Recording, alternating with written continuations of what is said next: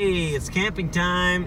It's this time of year again. It's April, I don't know what date, 6th, I think, 2019. And we got Michael, yo yo, and uh, Kendall. Where's Kendall? Hi, Kendall. And Ethan and Justin and myself. And uh, we're heading up the boondocks. It's still snowy out. We're gonna find a spot to camp. So far, we've seen some ducks. We just chased a deer that was trying to run me over. And uh, we saw some turkeys gobble right beside us. And so we're gonna come up here and find a spot and see what adventures await us. critters up here. We are headed into our favorite shed, honey hole. This is uh, this is one of those no-name cricks. hey, what are you gonna get if you find the shed, Ethan? A knife. Okay. Wow. Awesome. Michael said he'd pay up to 20 bucks for a knife, so to twist his arm, see if he does it. Whoever finds the shed first, of the kids. This is gonna be epic. Good times.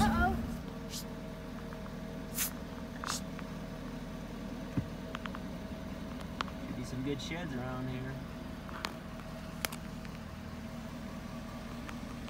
here. Well, here we're trying to figure out exactly where we want to camp. Way up here in the hills. These boys are rolling rocks. A real widowmaker. Uh-oh, here's one right close by me.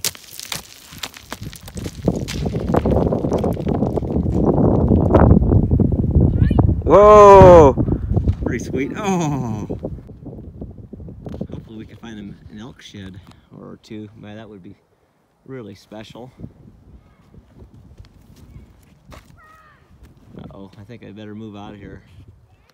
These boys are trying to wipe me off the map, I think.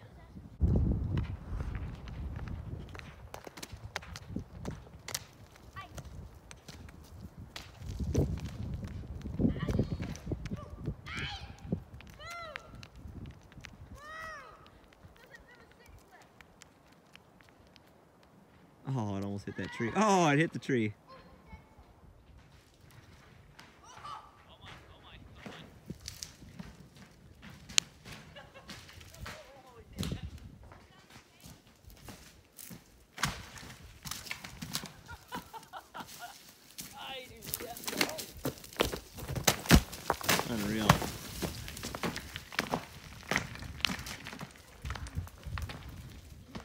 Crazy stuff.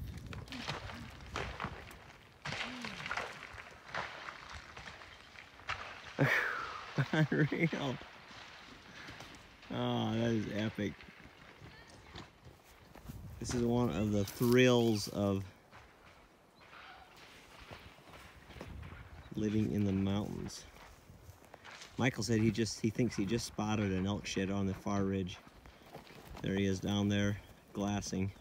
The sucker, he always finds stuff. There's Kendall down there with him. Michael thinks he's getting close to where he spotted it. Almost at the top of this ridge here. Oh, look at these big old trees. Wow. Ponderosa pine. Amazing. This thing's probably 120 years old. It survived from some major wound at one time.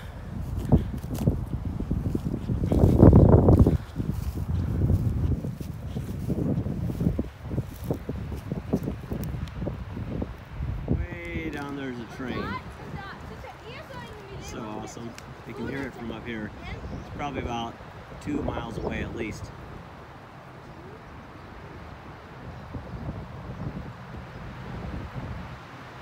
We're way on top of the mountain up here. Look at that, they found it! Unbelievable! Woohoo! One, two, three, four, five, six pointer. That is so awesome. Wow.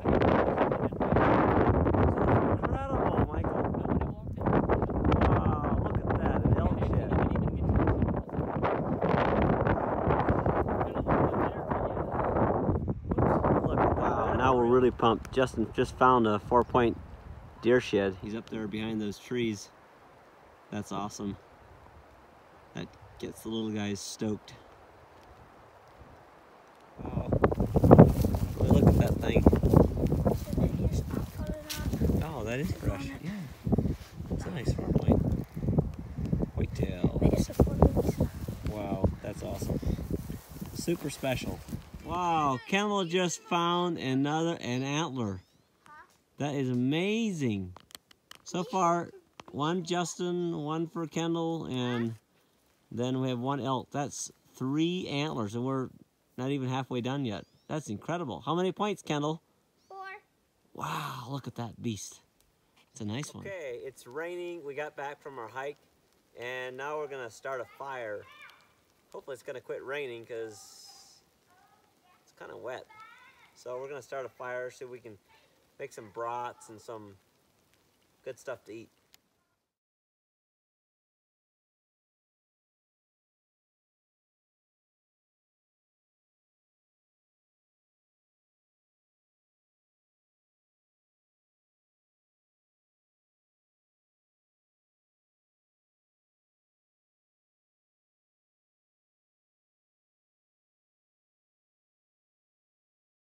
We're doing a little bit of hiking here, and look what we found. There is our wolf tracks. That's beside a boot track. Look at that, how big that wolf track is. Crazy. That's pretty fresh. Last couple weeks. One, two, three, go! Ah! Look out. Oh, my goodness, Unreal, unreal, unreal. Oh my goodness! Oh my goodness! Zoom that, Justin. Oh my goodness! We had. No way! No way! No! No!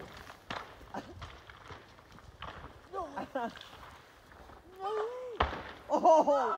No way! Down the hill, following the path of the destruction. Look at this. Unbelievable. This is far out. Up there, I'm gonna say 60, 70 feet from here, it hit the ground. It jumped out 35 feet, hit the ground right over there. It mowed right across here, right past this tree, snapped the branch off up there, snapped the branch off, and came down here and literally uprooted that thing right out of the ground, snapped it off. 16 inch green ponderosa pine. Joe, the, the top is right here and the butt is down there. it must have hit it so hard. Oh, unbelievable. Yeah, so it hit it so hard that the top is up here of the tree and the butt of the tree is down there. It literally carried the butt down there and knocked the top of the tree just dropped straight down. Unbelievable. Well, we're sitting here cooking breakfast in the rain. So far we've got hmm, bacon and some sausage along with wild onions that Kendall dug up. then we've got eggs that we're mixing up. So we're gonna have a goulash of sorts. We forgot to get, I forgot to bring my uh, potatoes to make a real goulash. So we're gonna have to do more of a dish thing here. But we're making progress and had a good night. Rained all night long, but we're pretty snug in our tent and stuff. So ready breakfast. Uh oh. Indians attacking us. Okay. Do our part. Oh my god, do you stay? You got. You. Look over here, Kendall. Coming to Joe's. Look at Larry. Larry All right, here's our stash that we found. There's a four point Justin found. There's a bigger four point that Kendall found.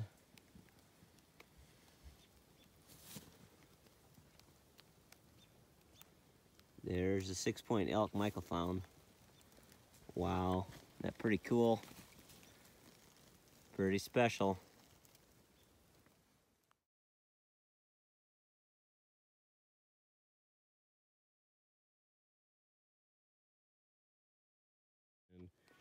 After breakfast, we instead of hiking home, we decided to climb up another mountain and do some scouting. But look at this. There's elk poop right there. Not too fresh, but we're seeing a lot of fresh stuff. Look at this. This is an elk rub from last fall. This is a pretty good sized elk because he reached up there about seven feet with the tips of his antlers. So they're in this area. And uh, wow, a lot of sign. Really hoping that we're going to find something here. Uh, Kendall just found a really old. Um, Michael, show show what Kendall found there, or Kendall, show what you got. Found an old whitetail, another one. That's his number two. One yesterday, one today. Oldie, but that was a nice. Oh, look at that nice pole. right there. Cool. Yep. Okay, you've got to hear this. This is just so neat. I don't know if the video is going to pick this up or not, but there's a mountain um, probably a quarter mile away over there. Then there's a bit of a dip, little ridge, and then there's another one. And then way over there, a mile away or so, there's another mountain. And you probably can't hear those, but you can probably hear the ones, the echo. It sounds really neat. So listen to this. Echo! Pretty neat. But I just got to show you something here that's real special to me is these big ponderosa pine trees. They're like giant redwoods. They're really neat. I mean, they're just something special about these huge, huge trees that have stood here for many years, like 100 years. A lot of these are 80 to 100 years old trees. I'll see if I can get a better picture, but they're just tall. The bark is red. Just look at this tree right here. Let me walk over to it and show you just real amazing special trees. There's a fire that went through here. Then I believe they logged it afterwards, and you can see how they planted trees in here after that. But see, that's been burnt. But these ponderosa pine trees can withstand a lot of, a lot, a lot of uh, fire and stuff. Look at the bark on there. So cool, so unique.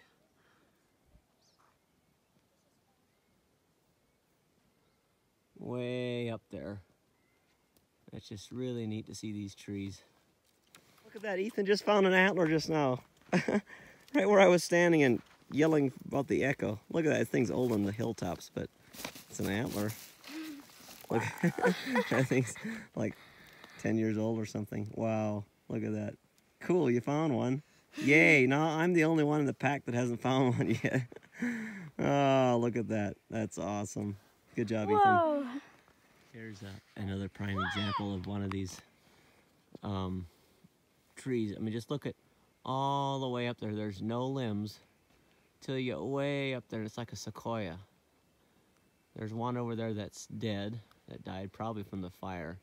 But just all around here, there's these huge trees. It's just, man, I don't know what to, how to, it's like amazing. It's just phenomenal. It's like they've been standing here for generations.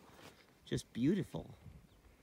I have these around in my house too. They're really dirty when they, because they shed their needles. Um, they stay green all year, but they still shed a lot. Um, but they're just neat old trees. Just, man, if they could tell the stories of what walked underneath their branches here, that would be amazing. We got back to the truck, ready to head home, and look at that. Big moose tracks. But you know what's even more cool is look at that. Wolf tracks right beside it. Wolf tracks, moose tracks. Moose tracks, wolf tracks. Isn't that crazy? Wow. There they go. Melted out a little bit, but pretty neat. Heading out, but I just wanted to make mention of one thing. Even though it's kind of neat to see the wolf tracks and the moose tracks, uh, we don't really like wolves around here. A couple are okay, but they're out of control. And the, the there's too big an area.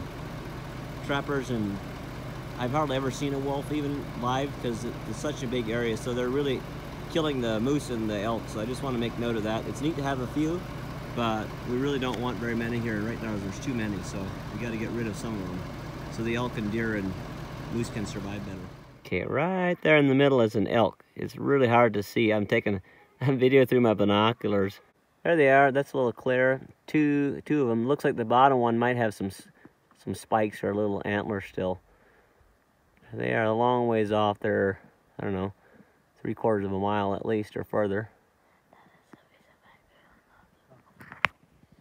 There you get an idea how far away it is. Pretty far.